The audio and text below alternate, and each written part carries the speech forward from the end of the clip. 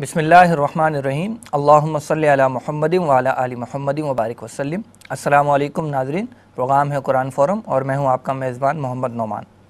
ناظرین، وقت ایک قیمتی دولت ہے اور یہ دولت تقاضا کرتی ہے کہ اسے ضائع نہ کیا جائے، کیونکہ انسان کی دنیا اور آخرت میں کامیابی کا انحصار اسی وقت کے درست استعمال پر ہے اور یہ وقت جب ہاتھ سے نکل جاتا ہے تو واپس نہیں آتا۔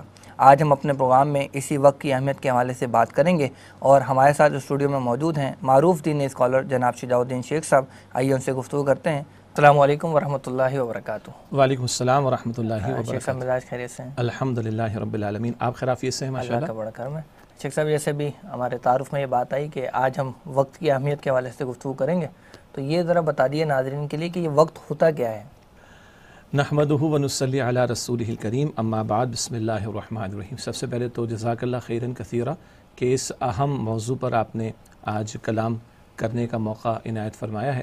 اور سچی بات ہے کہ سب سے سستی کموڈٹی جس کو ہم نے سمجھ لیا اور سب سے زیادہ بے دردی کے ساتھ جس شے کو ہم برباد کرنے پر آج تلے ہوئے ہیں، وہ ایک عظیم ترین جو نعمت اللہ نے عطا فرمائی، وہ وقت ہے جس کو آج ہم نے بہت ہی سستی کموڈیٹی سمجھ لیا اور سب سے زیادہ بے دردی کے ساتھ اس کو ہم استعمال کر رہے ہوتے ہیں۔ کوئی فلسفیانہ گفتگو تو ہم کر نہیں سکتے۔ سادہ سی بات یہ ہے کہ وقت کے بارے میں اہل علم فرماتے ہیں کہ وقت اصل زندگی ہے۔ یہ اس مفہوم کے اعتبار سے ہے کہ جب ایک مسلمان کی حیثیت میں ہم یہ تسلیم کرتے ہیں کہ اللہ رب العالمین نے دنیا میں مجھے اور آپ کو بھیجا ہے مقصد دے کر، تو اس مقصد کی تکمیل کے لیے جو مہلت میرے پاس موجود ہے، وہی میرا سب سے بڑا سرمایہ ہے۔ یعنی میری موت تک کا جو موقع میرے پاس ہے، یہی میرا سب سے بڑا سرمایہ ہے۔ کسی نے کہا کہ وقت جو ہے، وہ سونا یعنی گولڈ، اس سے بھی زیادہ قیمتی شے ہے۔ وقت کو ڈیفائن کچھ اس طرح کہا کیا گیا کہ دو واقعات کے درمیانی وقفے کو وقت کہا گیا ہے۔ دو واقعات کے درمیانی وقت وقفے کو وقت کہا گیا۔ مثال کے طور پر ایک اسٹوڈنٹ جو ہے وہ امتحان کے کمرے میں داخل ہوا تو یہ داخل ہونا ایک واقعہ ہے اور دوسرا کیا ہے جی؟ دوسرا یہ کہ وہ اس امتحان کے کمرے سے باہر نکل گئے، دوسرا واقعہ ہے۔ اب اس کے درمیان جو کچھ بھی ہے وہ وقت ہے جو اس کمرے امتحان میں اس کے پاس دستیاب ہے۔ ہمارے اعتبار سے کہیں گے کہ زندگی کا آغاز اس دنیا میں، جب ہم اس دنیا میں آئے ہیں اور بالخصوص جب ہم نے شعور کی آنکھ کھولی ہے یہاں سے لے کر ہماری اس دنیا سے جانے تک کا جو بھی موقع ہے، مرحلہ ہے، یہ وہ وقت ہے جو اللہ رب العالمین نے مجھے اور آپ کو دے رکھا ہے۔ یہ میں اس تناظر میں کہہ رہا ہوں کہ ایک مسلمان جو بامقصد زندگی گزارنا چاہتا ہے یا ایک بندہ جس کو اللہ نے بامقصد زندگی گزارنے کے لیے زمین پر بھیجا، اس کے اعتبار سے یہ وقت کی ایک سادہ سی تعریف ہے۔ تو وقت ہی اصل زندگی ہے، وقت ہی میرا اور آپ کا اصل سرمایہ ہے اور عجیب بات ہے۔ دنیا میں دولت کسی کے پاس زیادہ ہے؟ کسی کے پاس کم ہے، جسمانی قوت کسی کے پاس زیادہ ہے، کسی کے پاس کم ہے، ذہنی استطاعت، استعداد کسی کے پاس زیادہ، کسی کے پاس کم ہے۔ وقت ایک ایسی شے ہے کہ ہر بندہ امیر، غریب، بوڑھا، جوان، صاحب علم، کم علم رکھنے والا، شہر میں رہنے والا، دیہات میں رہنے والا، ایک دن کے اعتبار سے بات کرے تو اللہ نے ہر دن میں ہر بندے کو چوبیس گھنٹے عطا فرمائے۔ یہ تو ہے کسی کی مدت چالیس برس، کسی کی زندگی ساٹھ برس، لیکن ایک گیون ٹائم اگر ہم ایک ویک کہہ لیں ایک دن کہہ لیں تو ہر بندے کو اللہ نے یکساں وقت عطا کیا تو یہ ایسی دولت ہے یا نعمت کہہ لیں جو اللہ تعالیٰ نے ہر بندے کو یکساں طور پر ایک گیون سینیریو کے اندر عطا فرمائی۔ شیخ صاحب یہ بیان کیجیے گا کہ وقت کی اہمیت کے حوالے سے قرآن حکیم ہمیں کیا رہنمائی عطا کرتا ہے؟ دیکھیے، قرآن حکیم کا تو اعجاز یہ ہے کہ وہ زندگی کے ہر شعبے سے گفتگو کرتا ہے، ہر مرحلے اور پہلو کے تعلق سے کلام عطا فرماتا ہے۔ اللہ تعالیٰ نے بعض صورتوں کا آغاز ہی ایسا رکھا کہ جس سے وقت یا اوقات ان کی طرف اشارہ ہو رہا ہوتا ہے۔ کبھی اللہ تعالیٰ صورت اللیل ہمیں عطا فرماتے جس لیل رات کو کہا جاتا ہے۔ اسی طریقے پر کبھی اللہ تعالیٰ وقت صورت الضحیٰ ہمیں عطا فرماتے وضحیٰ سو اللہ تعالیٰ نے جب چاشت کا وقت ہوتا ہے، سورج تیزی سے نکل آتا ہے، اس کی اللہ سبحانہ و تعالیٰ نے قسم کھائی۔ کبھی اللہ تعالیٰ دن رات کی نشانیوں پر غور و فکر کرنے کی دعوت ہمیں دیتا ہے، ان فی خلق السماواتی والارض واختلاف اللیل والنہار لآیات لأولی الالباب بے شک آسمان اور زمین کی تخلیق میں اور رات دن کے بدلنے میں عقل مند لوگوں کے لیے نشانیاں موجود ہیں۔ کبھی قرآن حکیم زمانے کی قسم کھاتا ہے؟ صورت العصر بڑی مشہور صورت ہے۔ والعصر ان الانسان لفی خسر، قسم ہے۔ تیزی سے گزرتے ہوئے زمانے کی یقیناً تمام کے تمام انسان واقعتاً خسارے کے اندر ہیں۔ کبھی قرآن حکیم اس انداز سے ہمارے سامنے وقت کی اہمیت کو رکھتا ہے کہ وہ نماز کے اوقات کار کا ذکر کرتا ہے۔ کبھی قرآن حکیم اس اعتبار سے ہمارے سامنے اہمیت رکھتا ہے، ایک خاص عبادت رمضان المبارک کے مہینے میں عطا کی گئی۔ اس کا ذکر اللہ تعالیٰ فرماتا ہے۔ کبھی اللہ سبحانہ و تعالیٰ حج کے اوقات اور حج کے مقامات تک کا بھی ذکر قرآن حکیم میں کرتا ہے۔ تو کبھی وقت کا ذکر کبھی اوقات کا ذکر کبھی وقت سے متعلق یا اوقات سے متعلق جو معاملات ہیں ان کے ادا کرنے کے مقامات کا ذکر قرآن کرتے ہوئے گویا کہ ہمیں توجہ دلا رہا ہے اس وقت کی اہمیت کے اعتبار سے۔ اور پھر جو ایک عام موضوع قرآن حکیم کا وہ یہ ہے کہ دیکھو تمہاری موت کسی وقت بھی آ سکتی ہے۔ دیکھو تمہاری وقت معین پر ہی موت آئے گی۔ وقت تمہارا کبھی بھی ختم ہو سکتا ہے۔ یعنی مہلت عمل جو عطا کی گئی، یہ قرآن کا مستقل موضوع ہے کہ اپنے اس دیے ہوئے، یہ عطا کیے گئے وقت سے فائدہ اٹھا کر اپنی اصل زندگی آخرت کی تیاری کر لو۔ اچھا اسی طرح سے احادیث مبارکہ بھی یقیناً اس موضوع پہ گفتگو کر رہی ہوں گی، تو ان کا بھی کچھ اگر ذکر ہو جائے۔ جی اللہ کے پیغمبر صلی اللہ علیہ وآلہ وسلم نے تو بڑی وضاحت کے ساتھ ہمارے سامنے وقت کی اہمیت کا ذکر فرمایا۔ مثال کے طور پر، کبھی آپ صلی اللہ علیہ وآلہ وسلم نے ارشاد فرمایا کہ پانچ چیزوں کو دوسری پانچ چیزوں سے پہلے غنیمت جانو اور جو عمل کر سکتے ہو وہ عمل کر لو۔ زندگی ہے، اس کو موت سے پہلے غنیمت جانو۔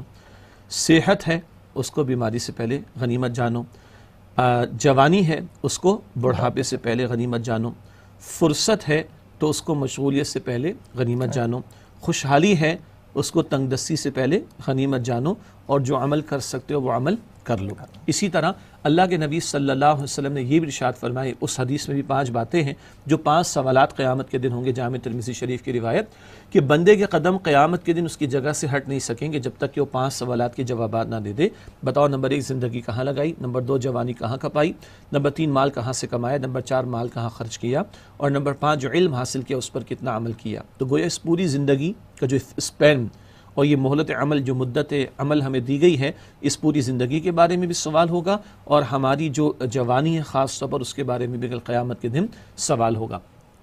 اسی طرح نبی اکرم صلی اللہ علیہ وسلم نے یہ بھی ارشاد فرمایا ہے کہ دو نعمتیں ایسی ہیں کہ جن کے بارے میں بہت سے لوگ غفلت برتتے ہیں۔ ایک صحت کا معاملہ اور اللہ نے جو ایک وقت اور فرصت اور آسانی اور راحت دی عمل کرنے کے اعتبار سے۔ لوگ اپنی صحت کی بھی قدر نہیں کرتے اور اللہ کی جو نعمت وقت کی صورت میں عطا ہوئی، لوگ اس کی بھی قدر نہیں کر رہے ہوتے۔ اسی طرح اللہ کے پیغمبر علی صلاۃ السلام نے اور مختلف پیرایوں میں، مثال کے طور پر عمل پر توجہ دلانے کے اعتبار سے حدیث شریف اللہ تعالیٰ نے یاد دلائی۔ مسند احمد کی روایت ہے، آپ صلی اللہ علیہ وسلم ارشاد فرمایا، اگر تم میں سے کسی کے پاس ایک شاخ بھی موجود ہے، کوئی ڈنڈی سی موجود ہے یعنی پودا لگانے کے لیے اور قیامت آیا چاہتی ہے۔ تو اگر وہ پودا لگا سکتا ہے تو وہ پودا لگا لے اور یہ عمل بھی کرنے کی کوشش کرے۔ اس سے درختوں کے اگانے کی اہمیت کا اندازہ بھی ہوتا ہے۔ اس سے مہلت عمل سے فائدہ اٹھانے کی بھی اہمیت کا اندازہ ہوتا ہے۔ اور اس سے جس کو ہم کہتے ہیں نا، آخری آخری مومنٹ بھی اگر بندے کے پاس ہے، تو جو عمل وہ کر سکتا ہے، وہ عمل کر ڈالے۔ اس کی ترغیب اور تشویق نبی اکرم صلی اللہ علیہ وسلم نے ہمیں دلائی ہے۔ تو یہ وہ بنیادی طور پر چند احادیث مبارکہ میں آپ کے سامنے رکھ سکا ہوں کہ جس سے وقت کی قدر و قیمت کا ہمیں اندازہ ہوتا ہے۔ اچھا شیخ صاحب، ہم دیکھتے ہیں کہ جو پچھلی امتیں تھیں، ان کے تو بڑی لمبی لمبی زندگیاں ہوا کرتی تھیں۔ قوم نوح کا ذکر ہمیں ملتا ہے، آدم علیہ السلام کی عمر کے بارے میں بیان ملتا ہے۔ جبکہ جو ہماری امت ہے، امت مسلمہ، اس میں تو ایوریج امت، عمر جو ہے وہ ساٹھ ستر سال اوسطاً جو ہے وہ بنتی ہے۔ تو کیا جو پچھلی امتیں تھیں، ان کے لیے بھی وقت کا یہی معاملہ رہا ہے یا یہ کوئی ہمارے لیے کوئی زیادہ تیز ہو گیا وقت؟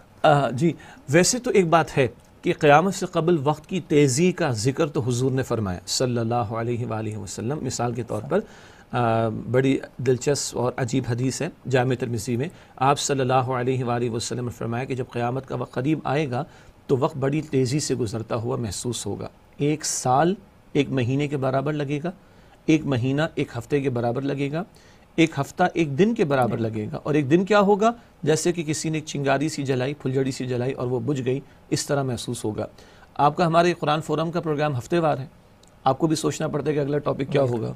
مجھے بھی سوچنا پڑتا ہے کہ ریکارڈنگ کے لیے ٹائم کب نکلے گا۔ ایسا ہے کہ نہیں؟ ہفتہ کیسے گزر جاتا ہے؟ مہینہ کیسے گزر جاتا ہے؟ تو یہ وقت کی تیزی اپنی جگہ ہے۔ البتہ وقت گزرا چلا جا رہا ہے۔ اور مہلت عمل کسی وقت بھی ختم ہو جائے گی یہ جو کیفیت ہے یہ تو ہمیشہ سے رہی ہے۔ مثال کے طور پر آپ نے حضرت نوح علیہ السلام کا ذکر فرمایا۔ قرآن کا تو بیان ہے سورہ کبوت میں ساڑھے نو سو سال تک وہ دعوت دین کا کام کرتے رہے اور استقامت کے عظیم پہاڑ بن کر کھڑے رہے۔ البتہ ہمارے اسلاف نے اپنی تحریروں میں ایک قول نقل کیا حضرت نوح علیہ السلام کا۔ وہ نوح علیہ السلام جو ساڑھے نو سو برس تک تو تبلیغ کرتے رہے فرماتے ہیں کہ بھئی زندگی کیا ہے کہ بندہ ایک کمرے کے دروازے سے داخل ہو رہا ہے اور ابھی دوسرے دروازے سے نکل جائے گا۔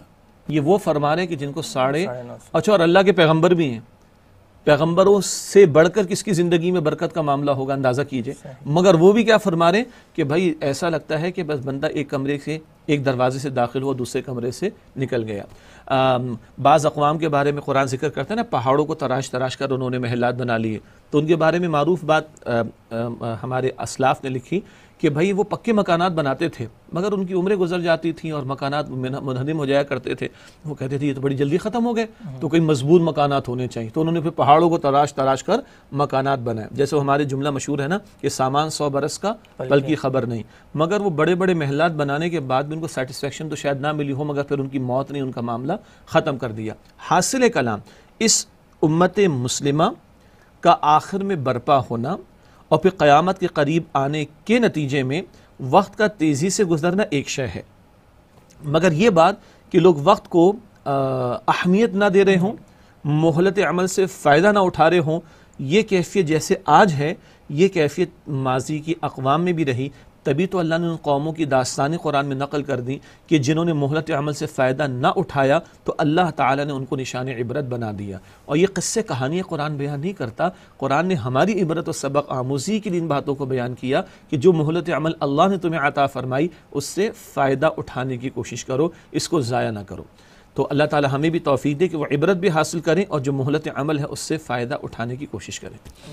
شیخ صاحب، ہمارے ہم دیکھتے ہیں کہ صحابہ کرام رضی اللہ تعالیٰ عنہ مجمعین ہیں، تابعین ہیں، ان کے بعد آنے والے جو بھی ہمارے صلف صالحین ہیں رضی اللہ تعالیٰ عنہ مجمعین و رحمۃ اللہ علیہم، تو انہوں نے اپنے وقت کی اس قدر کو جو ہے وہ پہچانا ہے اور اس کا ذکر بھی انہوں نے کیا ہے اپنے اقوال میں کہ بھئی اس کو پہچانو اس کی قدر کو۔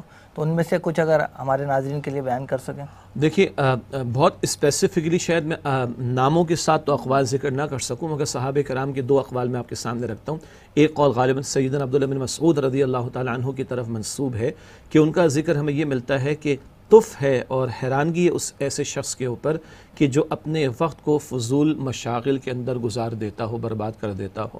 اور ایک قول تو بالکل اسپیسیفکلی مجھے یاد آ رہا ہے، امام زین العابدین رحمۃ اللہ علیہ کا، وہ فرماتے کہ جو جان اللہ نے مجھے عطا فرمائی، یہ کوئی گھٹیا شے نہیں ہے کہ میں اس کو گھٹیا اور کمتر کاموں میں برباد کر دوں۔ وہ اصل میں فرما رہے ہیں، سورہ توبہ کی آیت نمبر 111 کی روشنی میں، ان اللہ اشترا من المؤمنین انفسهم و بان لہم الجنہ بے شک اللہ تعالیٰ نے ایمان والس ان کی جانوں اور مالوں کا سودا کر لیا۔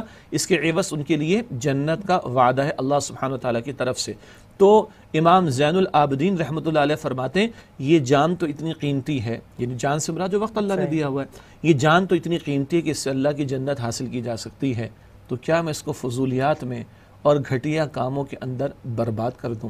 ہمارے بعض اسلاف کا معاملہ یہ تھا اس کو کوئی زہد اور تقوی کی زیادتی پر محمول نہ کرے لیکن ان کا معمول یہ تھا کہ وہ مرغن غذاؤں کے مقابلے میں سادہ غذاؤں کو اپنے استعمال میں رکھتے تھے۔ مثال کے طور پر ایک بڑا خوبصورت آرٹیکل کیمیائی سعادت میں امام غزالی رحمۃ اللہ علیہ کا ہے، بھوک کے حوالے سے۔ کیا خوبصورت وہ فلسفہ رہ گیا تلقین غزالی نہ رہی والا معاملہ۔ وہ لکھتے ہیں کہ دیکھو بھائی غذا جتنی زیادہ مرغن ہوگی، مہنگی بھی ہوگی، دستیاب کرنے میں بھی دشواری ہوگی، پکانے میں بھی دشواری ہوگی، کھانے کے اندر بھی دشواری ہوگی ہضم کرنے میں بھی دشواری ہوگی اور جب بیت الخلاء جاؤ گے تو بھی دشواری ہوگی اور جب یہ سڑتی ہے تو بدبو بھی زیادہ ہوتی سادہ غذا ہوگی دستیاب کرنا بھی آسان سستی بھی ہوگی تیار کرنا بھی آسان کھانا بھی آسان ہضم کرنا بھی آسان بیت الخلاء میں جا کے فراغت حاصل کرنا بھی آسان۔ اور اگر یہ غذا کبھی سڑتی پہ تو بدبو بھی کم آتی۔ ایسی زبردست تلقین۔ تو ہمارے بعض اسلاف نے تو اس کا یہ مطلب نہیں کہ رحبانیت کی کوئی بات ہو رہی بلکہ اپنے معمولات کو سادہ رکھا بعض نے کہا کہ بہت زیادہ موٹی قسم یعنی کہ مرغن قسم کی غذائیں چبانے میں ٹائم لگتا ہے۔ صحیح۔ تو بھائی سادہ غذا کو چبانے میں بھی ٹائم کم لگے گا تو میں اللہ کا ذکر زیادہ کر لوں گا۔ اس انداز سے ان باتوں کو دیکھنا چاہیے۔ تو یوں بہت سارے اسلاف نے مختلف اعتبارات سے وقت کی اہمیت کو بیان کیا۔ امام راضی رحمۃ اللہ علیہ کا ذکر ملتا ہے سورہ عصر کی تفسیر میں اس کو بیان کیا جاتا ہے کہ بھئی وقت کی اہمیت تو سمجھ آئی ایک برف والے کی مثال سے۔ برف والے کا معاملہ کیا ہوتا ہے؟ اچھا اس زمانے میں برف وہ تھوڑی تو ہمارے کارخانوں میں بن رہی۔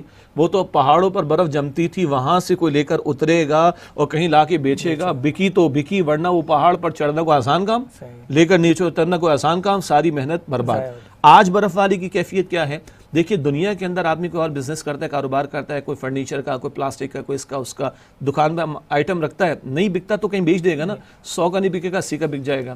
برف والے کا معاملہ کیا ہے؟ برف والے کا معاملہ ہے کہ وہ برف کی سل، پتہ نہیں کتنے ہوگی لیٹ سے ہزار روپے کی، مثال۔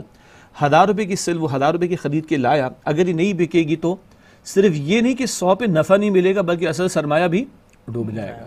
تو امام راضی کہتے ہیں، اس برف والے سے مجھے زندگی کی مثال سمجھ آئی۔ یہ زندگی جو اللہ نے عطا فرمائی، یہ میری اصل پراپرٹی ہے۔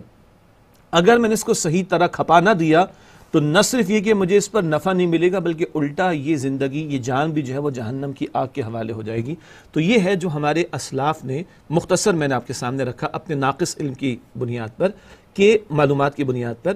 کہ اس انداز سے ہمارے اسلاف نے اپنے اوقات کی فکر کی ہے۔ انہوں نے غذاؤں کو سادہ رکھا، رہن سہن کو سادہ رکھا، اپنی نیند کو کنٹرول کرنے کی کوشش کی، فضولیات سے اپنے آپ کو بچائے بلکہ حدیث شریف یاد آ گئی۔ نبی اکرم علیہ السلاۃ والسلام نے فرمایا کہ بندے کے اچھے اسلام کی علامت کیا؟ ترک ہو مالا یعنی۔ فضول باتوں کو، بیکار باتوں کو وہ ترک کر دیتا ہے یہ اچھے اسلام کی علامت ہے۔ اس کا برعکس یعنی اس کا حاصل نتیجہ کیا نکلے گا کہ اپنے اوقات کی حفاظت کرنا کیوں؟ آج جو میں کہہ رہا ہوں آج جو میں کر رہا ہوں آج جو میں دل میں لیے بیٹھا ہوں کل اس سب کا مجھے اپنے رب کے سامنے جواب دینا ہوگا۔ جزاک اللہ۔ ناظرین پروگرام میں وقت ہوا ایک وقفے کا۔ وقفے کے بعد انشاءاللہ ہم گفتگو کریں گے کہ آج ہر کوئی وقت کی تیزی کا اور وقت کی کمی کی شکایت کرتا ہے۔ اس کی کیا حقیقت ہے اور ساتھ ہی اس وقت کو ہم کیسے کارآمد بنائیں، اس پر انشاءاللہ وقفے کے بعد گفتگو کریں گے۔ اجازت دیجیے السلام علیکم ورحمۃ اللہ وبرکاتہ۔ السلام علیکم ورحمۃ اللہ وبرکاتہ۔ پروگرام قرآن فورم میں ایک مرتبہ پھر آپ کو خوش آمدید کہتے ہیں۔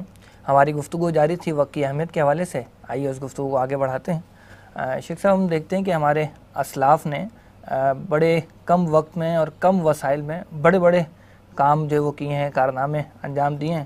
جبکہ آج ہمیں نظر آتا ہے کہ ہر شخص جو ہے وہ وقت کی کمی کا رونا رو رہا ہوتا ہے۔ تو ایسا کیوں ہے؟ بسم اللہ الرحمن الرحیم۔ اصل میں اس سوال کے مختلف پہلو ہو سکتے ہیں۔ ایک پہلو تو یہ ہے کہ اللہ رب العالمین کسی کے وقت میں خاص برکت عطا فرما دے۔ اس پر ہم وقت بہت الگ سے بات کریں گے۔ برکت کسے کہتا ہے برکت حاصل کیسے ہوتی۔ البتہ اللہ تعالیٰ برکت عطا فرماتا ہے اور سب سے بڑھ کر آپ دیکھیں تو انبیاء علیہ الصلاۃ السلام کی زندگی میں برکت اور برکت کی انتہا کو دیکھنا چاہے تو امام الانبیاء صلی اللہ علیہ وسلم کی حیات طیبہ یعنی برکت کی انتہا وہاں پر ہمیں دکھائی دیتی۔ اسلاف کی آپ نے بات کی، امام بخاری رحمۃ اللہ علیہ کے بارے میں بہت مشہور ہے کہ ان کو چھ لاکھ احادیث یاد تھیں اور منکرین سنت پرپگنڈا کرتے ہیں۔ اور جی چھ لاکھ یاد تھیں تو بخاری شریف میں ساڑھے سات ہزار لے کر آئے، تو باقی پانچ لاکھ بانوے ہزار پانچ سو کہاں چلی گئیں؟ ہاں۔ تو بھائی اس کا بھی ذرا جواب کلیئر رہنا چاہیے۔ ایک محدث کے پاس ایک حدیث ہوتی ہے اور وہ مختلف ترق یعنی مختلف چینز سے آ رہی ہوتی ہے۔ ناظرین کے لیے سادہ کر دیں بات کو۔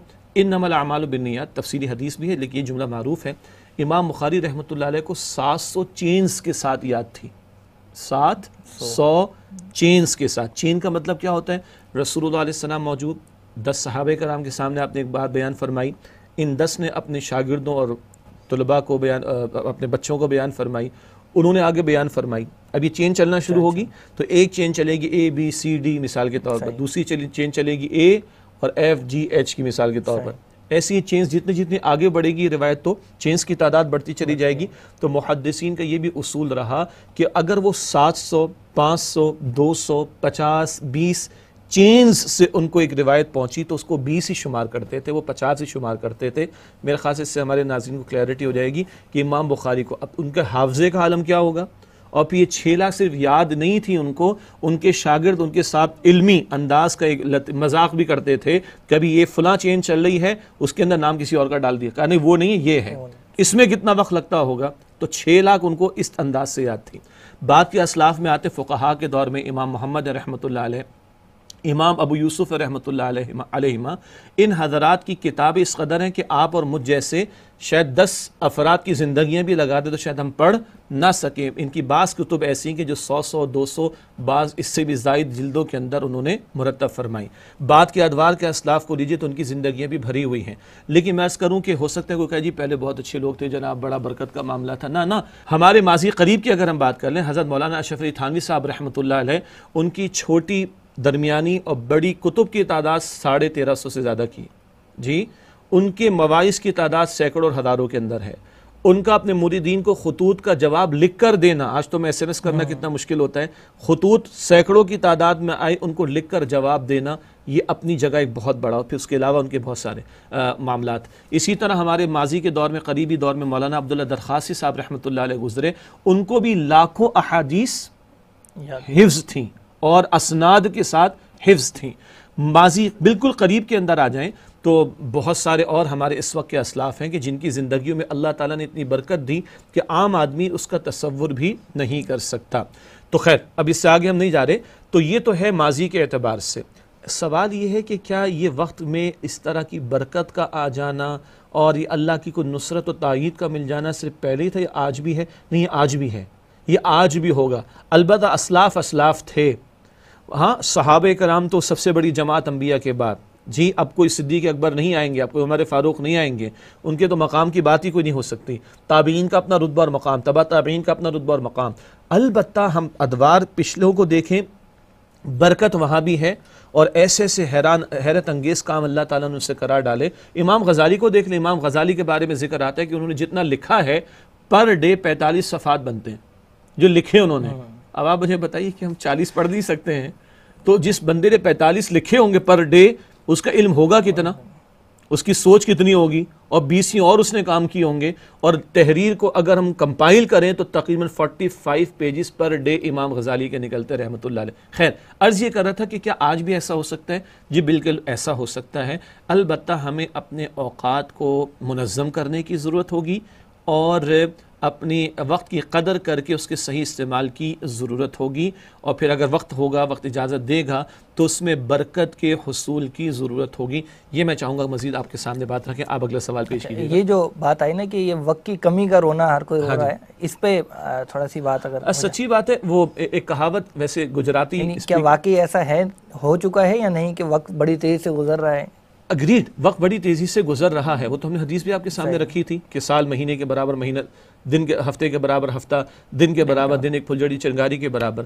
یہ کیفیت ہے لیکن ایک سچی بات یہ ہے کہ آج ہم اکیسویں صدی دو ہزار انیس میں بیٹھ کے پروگرام کر رہے ہیں۔ میں تو اپنے استادوں کو دیکھتا ہوں اپنے احد کے علماء کو دیکھتا ہوں اپنے احد کے اور فیلڈ کے لوگوں کو اچھے شریف النفس لوگ ہیں صاحب کردار لوگ ہیں کہ ان کو ہم دیکھتے ہیں اور ماشاءاللہ اتنی جگہ وہ انوالو ہیں پچیس پچیس تو آرگنائزیشنز میں انوالو ہیں جن میں سے میجورٹی چیریٹی اور سوشل ویلفیئر کے کام کر رہی ہیں۔ ٹریولنگ ان کی سال میں چھ مہینے کی باہر پاکستان سے چھ مہینے کراچی میں چھ مہینے پاکستان سے باہر۔ اور پچیس آرگنائزیشنز کو لے کے چلنا اپنے بزنس کو لے کے چلنا سوشل ویلفیئر کے کاموں کو کرنا۔ یہ میں عام بزنس مین کی بات کروں جو اس پاکستان میں اس وقت موجود ہیں۔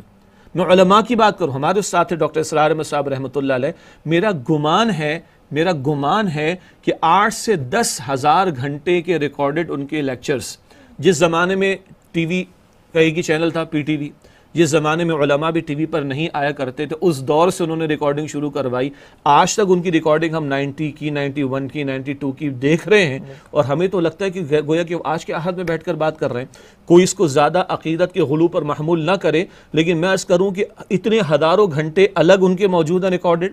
پھر کتابچے الگ موجود ہیں۔ پوری ایک انجمن خدام القرآن بنا کر قرآن کی تحریک کو برپا کرنا، پھر ایک تنظیم اسلامی کو قائم کر کے اس کو لے کر چلنا۔ ان سے قبل مولانا سید ابو العلیٰ مودودی علیہ رحمہ کو آپ دیکھ لیجیے۔ ایک جماعت کا بنایا جانا، پھر مختلف محاذوں پر کام کرنا۔ اور کوئی بائیس، تیئیس برس کی عمر میں جب کسی ایک انگریز نے چیلنج کیا جامع مسجد دہلی پر کھڑے ہو کر، تو الجہاد فی الاسلام، بائیس، تیئیس برس کی عمر میں لکھ کر مولانا مودود علیہ الرحمٰن نے سینکڑوں صفات ہیں، اس کا جواب پیش کیا۔ تو رونا رونا الگ بات ہے؟ سب رو رہے ہیں ٹھیک ہے؟ لیکن کوئی مثبت انداز سے اگر اپنے وقت کو استعمال کرنا چاہے دیکھیے وقت کی قید یا لمیٹیشن مخلوق کے لیے ہے۔ خالق کے لیے تو کوئی قید و لمیٹیشن نہیں۔ تو یہیں سے وہ نقطہ آئے گا کہ اگر میں اخلاص نیت کے ساتھ اپنے اوقات کو مثبت انداز سے استعمال کر کے مفید بنانا چاہوں اور خالق کے ساتھ میرا رابطہ مضبوط ہو تو آج بھی بظاہر لگے گا کہ وقت کے اندر بڑی کمی نظر آ رہی ہے یہ تیزی سے گزر رہا ہے لیکن میرے اسی وقت کے اندر اللہ رب العالمین برکت عطا فرمائیں گے جیسے کہ اس آہد کی دو تین مثالیں میں نے آپ کے سامنے رکھی۔ جزاک اللہ اچھا صاحب آتے ہیں اس عملی سوال کی طرف کہ اپنے وقت کو ہم کیسے کارآمد بنائیں؟ جی۔ دیکھیے بڑا اہم نقطہ ہے۔ اس پہ ویسے آج کل بڑے ٹائم مینجمنٹ کے کورسز بھی ہوتے ہیں اور کبھی لاکھ روپے چارج کیے جاتے ہیں کبھی پچاس ہزار روپے چارج کیے جاتے ہیں۔ خیر میں ان کی مارکیٹنگ نہیں خراب کرنا چاہ رہا لیکن دو تین اصولی باتوں کو سمجھ لیں۔ پہلی بات میں وقت کو اللہ کی نعمت سمجھوں اور میں یاد رکھوں کہ اس وقت کا مجھے کل اللہ کو جواب دینا ہے۔ پہلی بات دوسری بات ہے کہ میں ذرا بیٹھ کر اپنے اوقات کا تعین تو کر لوں بلکہ تعین سے پہلے جائزہ تو لے لوں کہ میرے اوقات کہاں کہاں لگ رہے ہیں۔ بعض دو مرتبہ دو چار نوجوان ماضی میں کبھی آئے الگ الگ اوقات میں۔ جی شدہ بھائی ٹائم ہی نہیں ہمارے پاس۔ بڑا مسئلہ ہے ہمارے پاس جی۔ اور بڑی مشقت ہو گئی بڑی مشکل ہو گئی۔ اچھا بھائی ذرا بیٹا لکھو چوبیس گھنٹے تم کرتے کیا ہو؟ ذرا لکھو۔ صبح کا ٹائم بنا لو صبح نو سے لے کے دوپہر ایک تک کا پھر شام تک کا پھر رات کا اور پھر رات کا۔ ٹھیک ہے نا؟ ذرا لکھو یہ چار فیزز کے اندر تم کرتے کیا ہو؟ الگ سے جا کے دوسرے کمرے میں بیٹھ کے لکھو آدھے گھنٹے کے بعد آ جاؤ یا دو دن کے بعد آ جاؤ؟ جناب پندرہ منٹ کے بعد آ گئے۔ میں نے جی دکھائیے۔ تو سچی بات ہے کہ وہ جو چار کالمز بنائے تھے ان کا نائنٹی پرسنٹ خالی تھا۔ اسی کی کھوپڑی میں ہمارے کہ ہمارا ٹائم بڑا استعمال ہو رہا ہے۔ جیسے جو تین تین گھنٹے بیٹھ کے ٹاک شوز دیکھ رہے ہیں جس سے نہ پاکستان میں دودھ کی نہریں بہ رہی ہیں نہ اس کی زندگی میں کوئی تبدیلی آ رہی مگر وہ روزانہ لگا ہوا ہے۔ جی جو لگا ہوا ہے اسمارٹ فون کے اوپر پتہ نہیں سمجھے کہ میں اسمارٹ ہو گیا۔ آج کل تصور ہے نا کہ اسمارٹ فون استعمال کر کے ہم اسمارٹ ہو گئے۔ ہم بہت اسمارٹ ہو گئے۔ ہم اتنے اسمارٹ ہو گئے آپ کو یاد ہوگا لینڈ لائن جب ہم استعمال کرتے تھے پی ٹی سی ایل وغیرہ یاد ہے؟ تو اس وقت گھر والوں کو قریبی رشتہ داروں دوستوں کے چالیس پچاس نمبر تو یاد تھے۔ اگر چالیس پچاس میں زیادہ کرو پچیس تو یاد تھے۔ آج شوہر کو بیوی کے نمبر یاد نہیں ہے۔ باپ کو بیٹی کا نمبر یاد نہیں ہم کتنے اسمارٹ ہو چکے ہیں۔ آپ نے دیکھا ہوگا جو پرانے کھاتے کا کام وہ اکاؤنٹس کا کام کرتے تھے، وہ پینسل یوں چلاتے تھے، ٹھاک کر کے نیچے جا کے باٹم لائن کر لیتے۔ اور آج ہمارا کیلکولیٹر بھی صحیح نہیں چل رہا ہوتا، اور اس کے اندر بار بار ہمیں اس کو کلیئر کر کے دوبارہ لکھنا پڑتا ہے۔ ہم چار فیگر کا سم نہیں کر سکتے، وہاں وہ چالیس کا کر لیا کرتے تھے۔ یہ اپنی جگہ ایک بات ہے۔ تو ان نوجوان ایسے دو تین کیسز ہوئے کہ ایٹی نائنٹی پرسنٹ وہ خانے خالی تھے۔ ہو سکتا انہوں نے یہ نہیں لکھا ہو کہ رات کو ان کا ٹائم کہاں گزرتا ہے۔ ہو سکتا انہوں نے یہ بنا بتایا ہو اس زمانے میں وی سی آر ہوتا تھا کہ وہ کون کون سی موویز دیکھ رہے شاید میرا گیٹ اپ دے کے نہ بتایا ہو لیکن وہ کہنا یہ چاہ رہے تھے کہ صاحب یہ ایٹی نائنٹی پرسنٹ ہمارے خانے خالی۔ تو ہم ذرا جائزہ لے لیں روز مرہ کے معمولات میں ہمارا وقت کہاں لگ رہا ہے۔ پھر تیسری بات تیسری بات یہ ہوتی ہے کہ ہم اپنے اپنے کاموں کو متعین کریں جس کو سمجھایا بھی جاتا ہے ٹائم مینجمنٹ کے کورسز کے اندر کوئی زیادہ اہم کام ہے کوئی کم اہم کام ہے اور کوئی بالکل غیر ضروری کام ہے تو غیر ضروری کو تو کر ہی نہیں سکتے بات پہلے بھی آ چکی اچھے اسلام کی علامت ہے کہ غیر ضروری باتوں کو ترک کر دیا جائے۔ اور معاف کیجیے گا ناظر کرام انتہائی ادب و معذرت کے ساتھ میں بھی جائزہ لوں ہم سب اپنا جائزہ لیں۔ کتنے فضول کاموں میں اسکرین پر ٹیکس کرتے ہوئے اور ویڈیوز دیکھتے ہوئے شیئرنگ کرتے ہوئے اسمارٹ فون کے اوپر اور سوشل میڈیا کے نام پر ایک وقت ہے جو عظیم ہم برباد کر رہے ہیں۔ خدا کی قسم انالیسس کیجیے، شاید ہمارے پانچ پانچ چھ چھ آٹھ آٹھ گھنٹے اس فضول پر برباد ہو رہے ہیں۔ اس کا کوئی مثبت استعمال ہو بھی سکتا ہے اور ٹو پرسنٹ ہوگا، کر لیں ہم ہم حق میں اس کے۔ لیکن نائنٹی فائیو پرسنٹ پلس استعمال وہ یوزلیس ہے۔ خدا کی قسم اس کا متعین کر لیں۔ ہم دیکھیں گے ہمارے پاس بڑا وقت نکل کر آئے گا۔ تو پرائرٹیز کو سیٹ کریں کہ میرے لیے کیا کام، جس کو اگر دینی پیراڈائم میں کہوں، جو فرض ہیں، جو واجب میں کرنے کرنے اور کیا حرام کام ہے مجھے چھوڑ دینے ہیں۔ پھر کچھ ذمہ داریاں مجھ پر وہ جو براہ راست حقوق اللہ سے متعلق ہیں۔ پھر کچھ براہ راست مجھ سے متعلق ذمہ داریاں جو حقوق العباد کے تعلق سے ہیں۔ پھر میرا اپنا نفس بھی ہے۔ آج لوگوں کے پاس اپنا ٹائم نہیں۔ ڈاکٹرز نہیں۔ کہتے بھائی آپ آپ اپنے پر بڑا ظلم کر رہے کیا ظلم کر رہے ہیں؟ آپ اپنی صحت کا خیال ہی نہیں کر رہے بات تو صحیح ہے۔ اپنے پاس ٹائم نہیں۔ لیکن میں سچی بات بتا رہا ہوں دنیا میں ہر بندہ روتا ہے کہ میرے پاس ٹائم نہیں صحیح ہے؟ لیکن آج آپ دیکھ لیں اگر فٹ بال کا شاید ٹوینٹی ٹوینٹی میں ہونا ہے کہیں۔ ٹورنامنٹ پتہ نہیں ورلڈ جو بھی ہونا ہے آئی ڈونٹ نو شاید ٹوینٹی ٹوینٹی میں قطر میں کہیں ہونا ہے۔ آپ چیک کیجیے کہ اس قوم کے پاس راتوں کو ٹائم ہوگا۔ کسی کا لنگوٹی یار پاکستان سے باہر سے آ جائے راتوں کو گھومنے کے لیے ٹائم نکل آتا ہے۔ کہاں سے نکل رہا ہے؟ ہے نکل رہا ہے۔ ہر بندہ رو رہا ہے تو میں عرض کیا کرتا ہوں ہر بندہ کہتا ہے میرے پاس ٹائم نہیں ہے۔ اور دوسرا جملہ بڑا عجیب ہے ہر بندے کے پاس ٹائم ہے مسئلہ پرائرٹی کا ہے۔ جب پرائرٹی میری سیٹ ہوگی، جس چیز کی بھی، صحیح صحیح کی یا غلط کی، یقیناً اس کے لیے ٹائم نکلے گا۔ تو پہلی بات اپنے وقت کو جو اللہ نے عطا فرمایا، نعمت سمجھے کبھی بھی ختم ہو جائے گی مہرت عمل۔ نمبر دو، اپنے اوقات ہم لگا کہاں کہاں رہے، ذرا اس کو ریس ڈاؤن کر لیجیے۔ اور پھر نمبر تین، فضولیات کو مینس کریں، بڑا ٹائم نکلے گا۔ نمبر چار، اپنی پرائرٹیز کو سیٹ کرنے کی کوشش کریں۔ اور اس کے ساتھ پھر اللہ سے دعا کا معاملہ۔ اس سے کہ میرے وقت میں برکت جو دینے والی ذات ہے وہ اللہ سبحانہ وتعالی کی ذات ہے۔ پھر ہم بھی دیکھیں گے کہ ہم اپنے اوقات کو بہتر طور پر استعمال کر سکیں گے مگر یہ فوکسڈ کر کے کام کرنا ہے اور پھر اللہ سبحانہ وتعالی سے دعا بھی کرنا شیخ صاحب اس میں ایک تصور آتا ہے وقت میں برکت کا۔ یہ اس کو ہم کیسے یقینی بنائیں کہ ہمارے وقت میں بھی کچھ برکت ہو جائے؟ ماشاء اللہ یہ بہت پیارا سوال ہے اور اس کے لیے کوئی ٹائم مینجمنٹ والے بھی آپ کو دلیل شاید عقلی طور پر نہ دے سکیں یہ سارے کے سارا تصور برکت کا ایمان بیسڈ ہے۔ اچھا اپنی جگہ برکت ایک الگ موضوع ہے۔ شاید میں آپ سے کبھی ریکویسٹ کروں کہ ہم کبھی اس برکت کے موضوع پر الگ سے تفصیلی کلام کریں۔ بڑا پیارا لفظ ہے۔ پہلا پہلی بات، برکت کا لفظ صرف جڑا ہوا ہے اللہ کی ذات سے۔ تبارک الذی بید الملک، تبارک الذی نزل الفرقان علی عبدہ لیکون للعالمین نذیرا برکت کا لفظ ڈائریکٹلی جڑا ہوا ہے کس سے؟ اللہ کی ذات سے۔ اچھا حضور علیہ الصلوۃ والسلام نے ہمیں دعاؤں میں برکت مانگنا سکھائی۔ دودھ پینے کے بعد کی دعا اللہم بارک لنا فیہ وزدنا من۔ اینڈ اور بھی مواقع پر اس طرح کی دعائیں ہیں۔ تو برکت کس چیز کا نام ہے؟ برکت کا لغوی تصور تو ہے کسی شے کا جم جانا۔ لیکن اصطلاحی طور پر عبداللہ بن عباس رضی اللہ تعالیٰ عنہ فرماتے ہیں برکت کیا ہے؟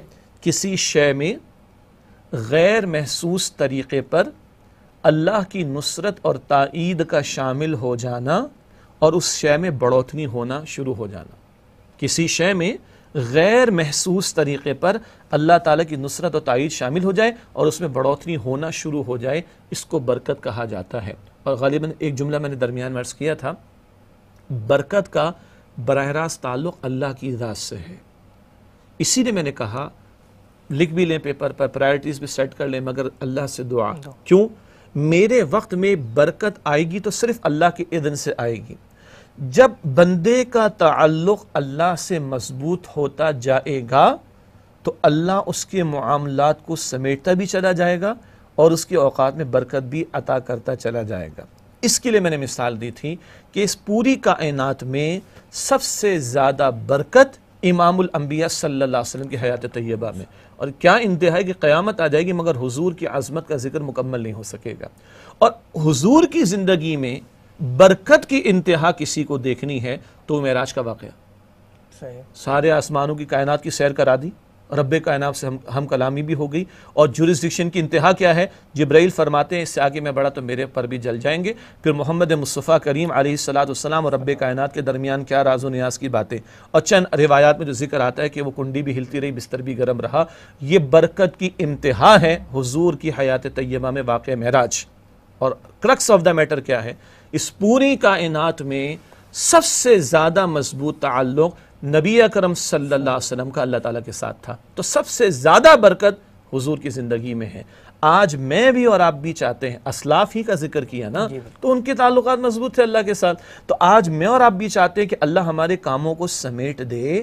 اللہ تعالیٰ انڈیو قسم کی مشکلات سے اخراجات سے پریشانیوں سے بچا لے اور اوقات میں اضافہ بھی ہو جائے برکت کے ساتھ اور اور اس میں بڑھوتنی ہونا شروع ہو جائے۔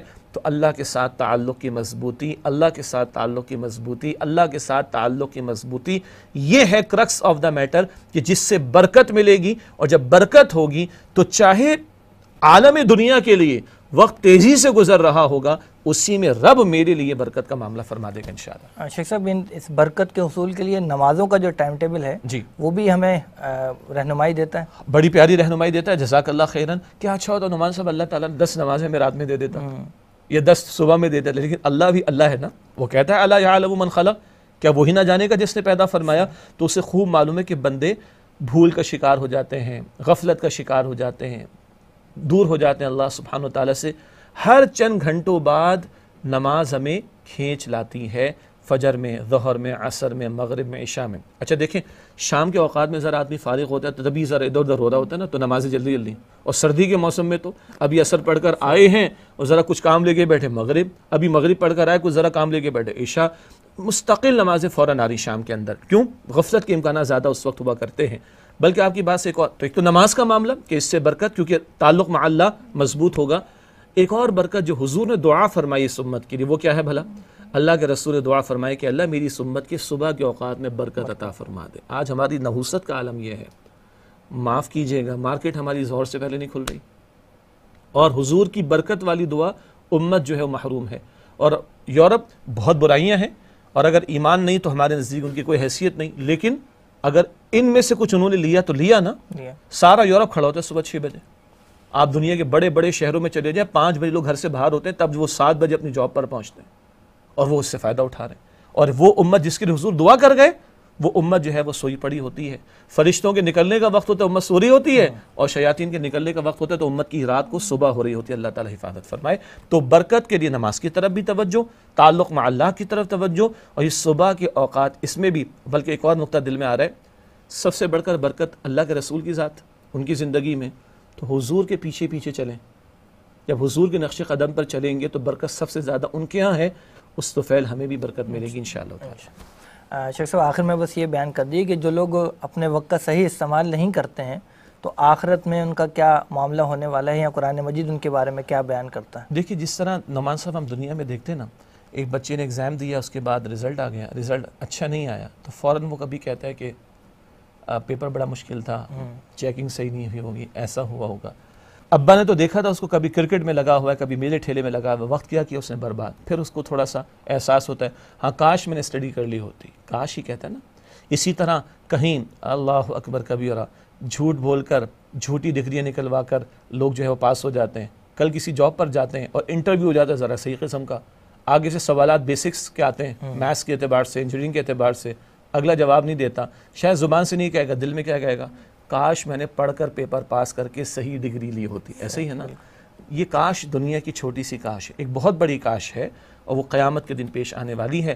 بہت سے مقامات پر قرآن نے ان حسرتوں کا ذکر کیا ہے۔ سورہ نبا کے آخر میں آتا ہے، یا علی تنی کم تو تورابا کافر کیا کہے گا؟ کاش مٹی ہوتا، مجھے دوبارہ کھڑا نہ کیا جاتا۔ اے کاش میں نے دنیا میں عبرت حاصل کر لی ہوتی، نصیحت حاصل کر لی ہوتی اور اپنے اوقات کا صحیح استعمال کر لیا ہوتا۔ سورہ فرقان میں ذکر آتا ہے، مجرم کہے گا، کاش میں نے رسول کے راستے کو اختیار کیا ہوتا، لم اتخذ فلانا خلیلا ہے کاش میں نے فلاں کو جو ہے وہ دوست نہ بنایا ہوتا، اس دوست نے مجھے برباد برباد کر ڈالا، گمراہی میں مجھے لے کر، لے جا کر پھینک دیا۔ اسی طرح سورہ فجر کے اندر آتا ہے، کیا قدم تو لحیاتی، اے کاش میں نے اپنی آخرت کی ہمیشہ کی زندگی کے لیے کچھ آگے بھیجا ہوتا۔ ایسی کئی حسرتوں کا ذکر قرآن حکیم میں آتا ہے سورہ عذاب میں آتا ہے۔ مجرمین کہیں گے کاش ہم نے اپنے مجرم سرداروں کی بات نہ مانی ہوتی کاش ہم نے اللہ تعالیٰ اور اس کے پیغمبر صلی اللہ علیہ وسلم کی بات مانی ہوتی۔ سورہ کہاف میں آتا ہے یا ربی احدہ اے کاش میں نے اپنے رب کے ساتھ کسی کو شریک نہ کیا ہوتا۔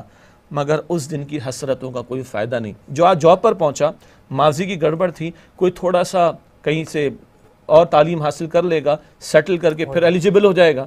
جس بچے کا ایگزام رہ گیا وہ سپلیمنٹری کے اندر بیٹھ جائے گا اگلے سال دے دے گا یہاں تو چلے گا۔ زندگی اللہ نے ایک مرتبہ دی ہے۔ ناؤ اینڈ نیور والی بات ہے جسٹ ڈو اٹ والی بات ہے۔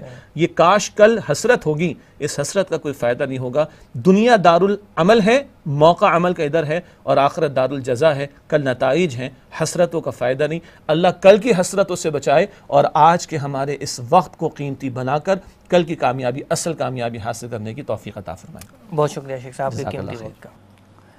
ناظرین انسان اگر محنت کرے تو دنیا کی اعلیٰ سے اعلیٰ شے حاصل کر سکتا ہے۔ خوش نصیب ہوتے ہیں، وہ لوگ جو وقت کو غنیمت جان کر رضائے الہی کے حصول میں لگ جاتے ہیں اور نہ صرف دنیا کو پا لیتے ہیں، بلکہ آخرت کی ابد الآباد نعمتوں کے بھی مستحق قرار پاتے ہیں۔ اللہ تعالی ہم سب کو اپنے وقت کی قدر کرنے کی توفیق عطا فرمائے۔ آمین۔